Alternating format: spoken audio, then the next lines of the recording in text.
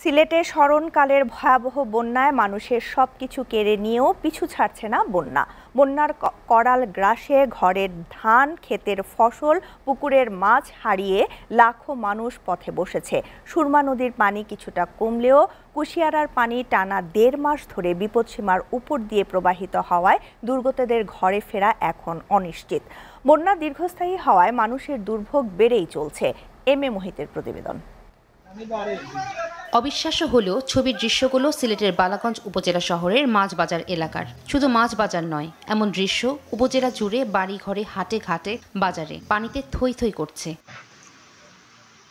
কুশিয়ারা পাড়ে সিলেটের সাত উপজেলার মানুষ এখনও পানিবন্দী। তলিয়ে আছে শত শত ব্যবসা প্রতিষ্ঠান, যেন পানির উপর ভাসছে দোকানপাট। কোমর সমান পানি থাকায় খোলা যাচ্ছে না দোকান। কদিন ধরে দিনে প্রখর রোদ থাকলেও রাতে হানা দিচ্ছে বৃষ্টি আর ঝড়। সিলেটে এমন হাজারো বাড়িঘর তলিয়ে থাকায় আশ্রয় কেন্দ্রে মানুষের দুর্বিষহ জীবন কাটছে। বন্যার পানি হ্রাসের খবরে কমেছে সরকারি বেসরকারি ত্রাণ বিতরণ। এতে আশ্রয় কেন্দ্রে খাখা করছে মানুষ। কুশিয়ারা নদীর পানি বাড়ে বাড়াতেও আমরা ওখানে আশপাশে গ্রামে এখনও অনেক ঘর দুয়ার পানি বন্ধ রয়ে গেছে। আর ক্ষয়ক্ষতির পরিমাণ তো মুখে বাসা প্রকাশ করার মতো নয় সিলেটের ওপর দিয়ে মৃদু তাপ প্রবাহ বয়ে যাচ্ছে। তবে দ্রুত বৃষ্টির পূর্বাভাস দিয়েছে আবহাওয়া অধিদপ্তর। বৃষ্টি হলে পানি বাড়বে এমন খবরে উদ্বেগ উৎকণ্ঠা বেড়েছে বানভাসীদের। যাদের ঘর বাড়ি একেবারে নষ্ট হয়ে গেছে তারা এখনও বাড়ি ঘরে আশ্রয় নিতে পারছে না। গড়ে দুয়ারে মাইরিয়া গেছে এটা অনেক গড় দুয়ার বাঙ্গাল লইয়া গেছে।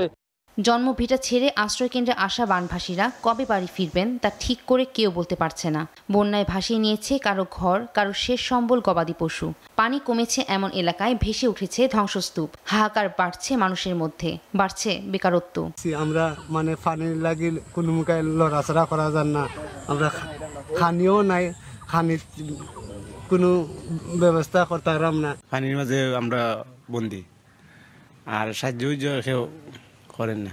জনপ্রতিনিধিদের মাধ্যমে ত্রাণ পৌঁছে দেওয়া হচ্ছে পানিবন্দী মানুষের ঘরে। পানি পুরোপুরি না কমা পর্যন্ত ত্রাণ তৎপরতা অব্যাহত থাকবে বলে জানালেন সিলেটের জেলা প্রশাসক। চেয়ারম্যান এবং মেম্বার সাহেবদের মাধ্যমে আমরা কিন্তু একেবারে ডোর টু ডোর একেবারে তালিকা করে সব জায়গাতেই আমরা সেই খাদ্য সামগ্রী বিতরণের জন্য চেষ্টা করছি এবং মহাদুর্যোগ কাটিয়ে শিগগির স্বাভাবিক জীবনে ফিরবে সিলেট অঞ্চলের মানুষ এমন প্রত্যাশা সকলের। SATV news desk.